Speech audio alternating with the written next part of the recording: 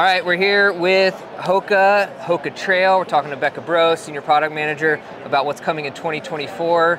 Uh, this stuff looks exciting, so let's get into it. Yeah, we're really excited about everything we have coming out in 2024. So we have some fun new spice coming out in the spring, and then in the fall, we're gonna get a little bit more aggressive with things. Okay, I'm excited. And we got Taylor here, by the way, lead trail reviewer for Believe in the Run.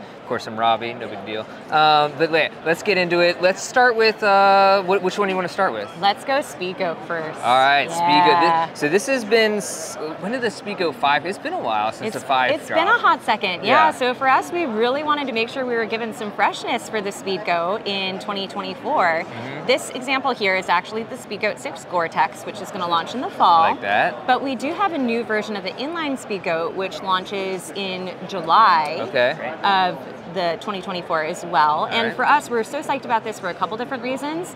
You know, people love the Speedgoat. We all love the Speedgoat. Everyone at Hoka who runs on trails uses a Speedgoat I mean, it's, point. it's a legendary shoe at this point. Absolutely. It's like in trail, there's certain standards that are met, and Speedgoat seems yes. to be one of those. Yeah. Well, and so we're really excited that this is going to be our lightest Speedgoat to date with the Speedgoat 6. Ooh, all right. So top to bottom, we looked at an update to the midsole compound here for a little bit of extra resiliency, a little bit of weight reduction, and then hopefully a longer uh, durability for okay. that underfoot feeling experience with the Speedgoat. Okay. Some adjustments to the lug pattern to give you just a little bit more bite, especially around the perimeter lug placement yeah, yeah, on the yeah. Speedgoat there. And then when we look at the upper, we've moved to this really amazing lightweight textile. It's going to have great breathability, um, but be super light with just some select internal reinforcement for just the right amount of lockdown on the trails. Okay, cool.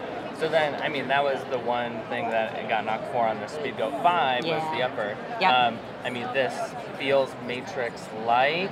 Yeah, but textile, not, but, but not quite. This, yeah. yeah. Yeah. Will it be in the Speedgoat, the original Speedgoat 6?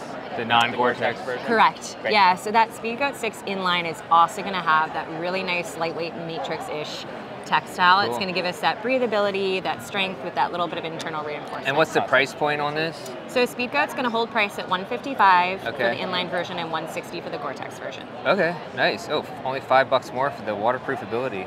All right. 170. Or 170. I was like, I was yeah. like, that seems okay. but even so, that's a good price. I got you. Yeah. Um, yeah. Still. All right. Let's move on. What do we got next? Okay. So next, I want to shift gears um, to probably the spiciest shoe we have yeah. in the lineup for All the right, year. Yeah with the Tecton X3. Um, I mean, this is wild looking. Oh man, it's it's such a great shoe. I was very lucky to run in a prototype of this um, yeah. at MCC at UTMB this year. While we had Jim Walmsley run in an even different, mm-hmm. more different, more advanced prototype.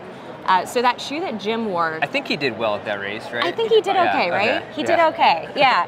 Um, awesome part about this shoe here is we took learnings from that shoe that Jim wore to win UTMB this mm-hmm. year, and we're able to pack all of those updates and upgrades into the Tecton X3. So people who love the Tecton X2, you'll notice a couple big different things here. We actually went to a SCF PEBA top and bottom layer. Okay. Here. Yeah, yeah, yeah. Okay. Big change. That's, we added. Yeah. Which before it was more like an EVA based and a. Yes. Uh, Super critical. Yes, yeah. exactly. Yeah. Okay. So this was a combo that Jim really preferred, and so we're honoring that. And honestly, the thing feels amazing on trails, especially when you have those sections you can really start to rip. Yep. So feel good about that top to bottom PEBA setup. Uh-huh. And then looking at a little bit more protection underfoot from an outsole perspective. Yeah. So just a little bit more rubber coverage. So you're not going to get any delam, any issues with like I mean, having I, the PEBA be put at risk. I think we love. I mean, we pretty much gave it one of our. Well, it's probably Yeah, one of the best trail shoes of this year, the yeah. Tecton X2. But there, I say there was one issue was maybe that there wasn't a, a ton of grip or outsole Yeah. uh, Yeah. on the on Not the a Tecton. Yeah, not a Yes. bite Yeah. for more technical stuff. This seems to more than make up for that. Yeah. And those little So- micro. Yeah. yeah, the traction lug from Vibram is yep. fantastic there for that little extra bit. Now, what's the carbon plate situation? Is it still two parallel Yes. plates or yeah. like okay, okay. So some really fun learnings on this one. We still have the parallel carbon fiber plate set up here. So we have a separate medial and a separate lateral plate. okay. But what we've done is actually extend the wrap of the plate up the sidewall in these Yeah, strategic right zones. here. so similar to something like a Mach X2. With the carbon fiber in this case, um, we found that where you add that wrap in the plate, you can enhance the stiffness and the torsional control in those zones. So imagine Okay. in a trail environment, you know, if you're cutting a certain way, you got to stay on top of the platform, and that wrap of the plate just helps keep your foot really nice and nested. Okay.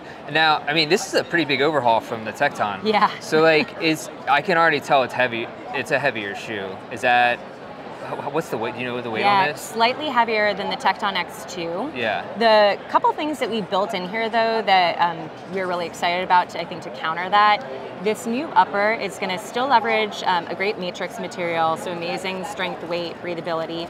But then we've built in this integrated knit gaiter. Mm-hmm. And so for us, for someone who's running on some technical terrain, instead of having to add a gaiter, which Yeah. add weight, adds yeah. weight, we built it into the shoe. Um, Yeah. This was a big ask from Jim and some of our trail athletes to have that knit collar that's not going to stretch out over time, going to be nice and secure, going to keep any debris from getting into the shoe, keep you really nice and locked in. Okay, cool. Yeah. Uh, do you know the do you know the weight on this off the top of your head?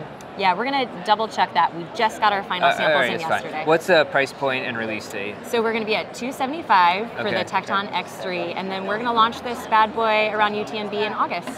Okay, Okay. that's a yeah, that's a step up from the last. Yeah, yeah. it is a step up. Damn. So this is like we're talking. This is it. Like Super primo. So we're looking like Yeah. race for real race day shoe for the trail. For real, for okay. real. All right. Yeah. Well, I'm excited for this. This this looks awesome. It's gonna be cool. I know this will be a question. Will there be a gaiterless option?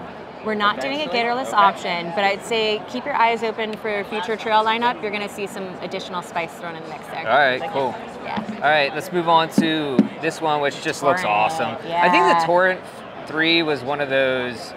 It's kind of like flies under the radar. It was such a good shoe. really Yeah. So yeah, let's talk about this a little bit. Yeah, so Torrent for us really represents our first access point to trail running for Hoka. Um, I think in the past the Torrent's maybe gotten a little lost in our lineup. So for this execution here, our amazing designer uh, Sean just knocked this one out of the park. By just giving it a little bit more of that Hoka attitude, Yeah. we went on this one to again a very similar compound to the foam that we use in something like the Clifton. It's going to have great resiliency, great weight, great cushioning, great lifespan. But then looking at that strategic rubber wrap, a little bit more bite and toothiness for traction, um, a little bit of enhanced stack height here as well for that little bit of extra cushioning. And then an upper that, you know, super intuitive for trail. We're using some rip stopping materials, some closed meshes, and then building in this little bit of a midfoot cage for the extra lockdown. And then this is, but it's not Vibram. Is this just a? Correct. Okay. Okay. Yep. Gotcha. Yep. Um, so, and then what's the price point on this? 130, so a great entry Okay. Yeah, point that's for good. trail. And release date? Uh, the Torrent is going to be launching in August, Okay. August 15th. Cool. Nice. I mean, it's a great looking shoe. I mean, Yeah. if, nothing else, Very I, I love it. about so that one. cool. All right. Well, that's the three bangers coming out 2024. Is that cool to say anymore? I don't know, but we're saying it. So 2024 is in the future. Who knows? Might come back around. Um, yeah, I'm excited. I think it looks pretty awesome. What do you think? I think it's a great lineup, especially looking at all around some of the favorites and some really exciting updates with Yeah. the race day. Cool. Yeah, Awesome. excellent stuff. So we're looking forward to that. And uh, if you haven't, check out the road preview that we posted as well, and more stuff to come from the running event. Awesome, thanks so much. Yeah.